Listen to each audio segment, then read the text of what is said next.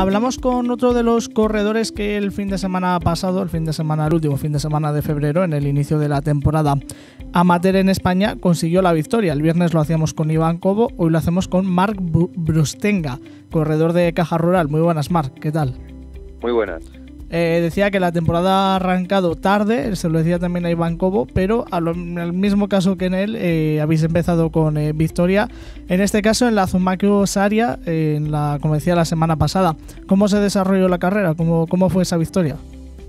Bueno, fue una carrera bastante rápida, al final con el terreno llano que, bueno, el recorrido llano que, que era, pues, pues se rodó muy rápido fue una carrera que hubo hasta algunos algunos ataques y tal y bueno el equipo todo el conjunto del Caja Rural creo que trabajamos bastante bien e intentamos siempre estar delante en todas en todos los cortes y se formó un corte que parecía que era el más bueno con tres integrantes de nuestro equipo y pensábamos a ver si si podía llegar y así pero bueno ya vimos que se bueno al final eh, equipos por detrás se pusieron a tirar y ya pensábamos, la última vuelta entramos con todo el grupo, con todo el pelotón agrupado y ya, ya vimos que se llegaría, seguiría al sprint masivo y así fue. Hmm. Si no tengo mal apuntado, debutas este año en Caja Rural, si no me equivoco.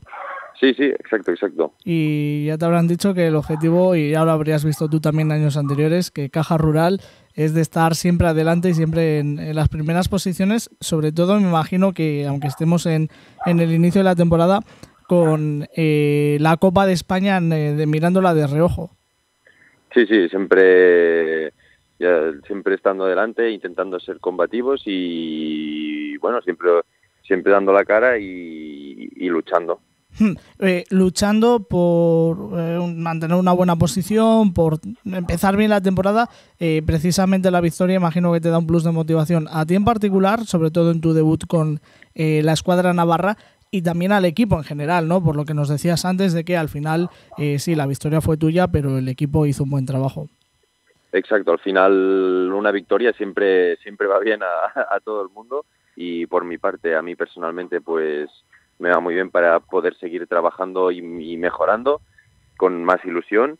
Y bueno al equipo pues pues ver que las cosas se están haciendo bien y trabajando todos juntos pues que se pueden conseguir victorias y, y luchar para por, por conseguir bueno, para conseguir victorias, como he dicho, como he dicho hmm. antes.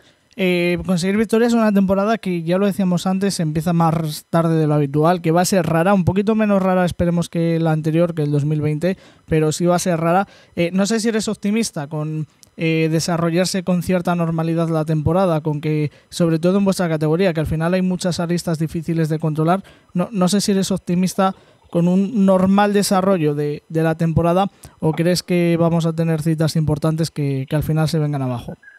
Bueno, yo mm, creo, bueno, yo, yo, me, yo soy bastante optimista y creo que a ver, que ahora ya se ha empezado, se ha como lanzado la, la temporada, esperemos que todo, que todo, que todo siga con buen pie y que sobre todo respetando, bueno, que con, con todo esto, la pandemia y con la salud de todo el mundo que esté bien, pues poder seguir compitiendo y, y poder competir las, las, las competiciones, bueno, al final todas, todas las competiciones. Hmm. Eh, a nivel ya particular y hablando de lo estrictamente deportivo, ¿qué objetivos te planteas en tu debut eh, con Caja Rural? ¿Qué, ¿Qué, objetivos tienes en este 2021? Bueno, al final ayudar al máximo el equipo, eh, aprender mucho y también, bueno, al final poder poder aportar mi, mi, granito de arena como bueno hemos estado haciendo en estas carreras al principio para poder estar ahí delante y poder hacerlo lo mejor posible y si son con victorias pues mucho mejor pero si no al final siempre está, o sea, estaremos para, para ayudar al equipo y trabajar en equipo cuando, cuando sea necesario y, y ser un bloque fuerte. Te doy a escoger, te, nos trasladamos ahora en el tiempo, sacamos la bolita de cristal, nos vamos a, allá al mes de noviembre, cuando aproximadamente acabe la temporada, y te doy a escoger con un titular. ¿Qué, titular te habría gustado protagonizar en noviembre? Eh, ¿Qué, titular te gustaría protagonizar esta temporada? ¿Qué, te gustaría conseguir? Bueno, al final un objetivo que siempre, bueno, que al final es como, bueno, el sueño que, que estoy buscando, pues poder dar al salto al al profesionalismo y, bueno, sería lo que, lo que me gustaría. Hmm, pues les dejamos ahí el guante a la, a la gente de Caja Rural del, del, equipo de los mayores, de, de, Xavi Muriel, si no me equivoco, el, el director y, y, a compañía, que aquí hay calidad en, y, y, seguro y buena cuenta dan todos los años. Eh, hablando ya en cuanto al equipo, antes de pasar a conocerte a ti mismo, eh, ¿qué te han comentado? Te he preguntado antes, eh, un poco en líneas generales, por la Copa de España, eh, pero ahora te pregunto en la temporada en general, ¿qué objetivos se plantea el equipo? Copa de España, ya lo hemos dicho, pero a mayores de, de, Copa de España, ¿qué os habéis planteado en esas primeras reuniones de temporada? Bueno, al final, bueno, al final lo que has dicho tú, Copa España, Copa España siempre ha estado, siempre, bueno, siempre está, siempre están en, el, en, los objetivos más importantes del equipo y luego, como hemos comentado antes, que al final todo esto, pues parece que, bueno, al final no se sabe del todo las competiciones que habrán, pues tampoco te puedes el equipo en sí tampoco se puede poner una, un objetivo en concreto eh, porque al final tampoco sabes si se va a hacer o no se va a hacer o cuándo se va a hacer o, o cómo se va a hacer. O sea, y por eso que es complicado ponerse um, un objetivo en concreto. Lo único que se ha transmitido desde el equipo es eso que vaya vayamos donde se, donde vayamos en cualquier competición pues darlo darlo mejor de dar lo mejor todo el equipo y hacerlo lo mejor posible y ir día a día que, que no es poco la situación en la en la que estamos exacto exacto al final es eso eh, te paso a conocerte un poquito más, como siempre hacemos con, con vosotros, cada vez que hablamos con algún ciclista que, que, no hemos hablado todavía. Y en tu caso, bueno, pues te pregunto, ¿cómo te defines a ti mismo? ¿Cómo se define Marc a sí mismo?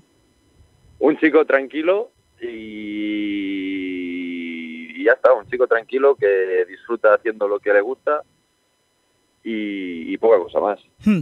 ¿Y ese chico tranquilo con qué sueña? ¿Qué, ¿Con qué carrera, mejor dicho, sueña? ¿En cuál qué carrera te gustaría debutar? Bueno, siempre os digo que un sueño para mí sería la País Roubaix. Hmm.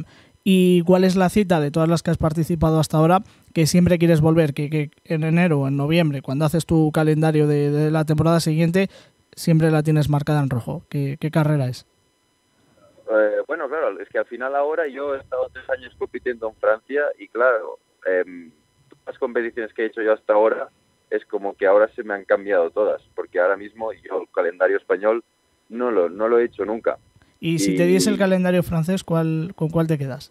Bueno, al final yo, yo en junior, cuando era junior, corrí la Paris-Roubaix y lo mismo, te, te, digo que yo corrí la Paris-Roubaix y quedé, acabé la carrera, acabé la, la carrera y acabé enamorado.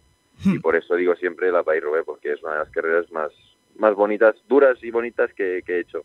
Lo que dicen, ¿no? Todo el mundo, a un, a un amor-odio eh, a esta carrera. Hmm. ¿Cuál es el momento que mejores recuerdos te trae en esto del ciclismo? Eh, mira, te diría el año pasado después de toda de toda la pandemia y bueno, cuando se empezó a volver a competir, pues te diría uno de los, mis mejores momentos sería sería ese. Hmm. ¿Y el peor? El primer año sub-23 en, en Francia, cuando fui a Francia, pero también te digo que fue el peor, pero también fui donde, fue donde aprendí más. Hmm. ¿Cómo arranca la afición de un niño de Santa Laura de Ronsansa? Eh, creo que no lo he dicho bien, me, me vas a perdonar. En eh, Barcelona, por esto de la bici. Eh, bueno, al final, a mí me ha gustado mucho el ciclismo, pero a mí tampoco nadie, y bueno, siempre lo he visto en casa el ciclismo, pero pero nadie en mi familia ha ido en bici en sí, o sea, a lo mejor les ha gustado la bici, pero nadie ha ido en bici, ni nadie, para decirlo de alguna manera, nadie me, me obligó a ir en bici. Fui más o menos yo mismo, que bueno, desde pequeño pues, pues me gustaba ir en bici y mira, al final acabé haciendo esto. Al, fin, al principio, cuando era más pequeño, también jugaba fútbol y era como más prioridad el fútbol pero bueno, luego empecé también con la bici y el fútbol lo dejé apartado. Y ahora ya sí, por último, para terminar, ¿quién es o quién ha sido tu referente?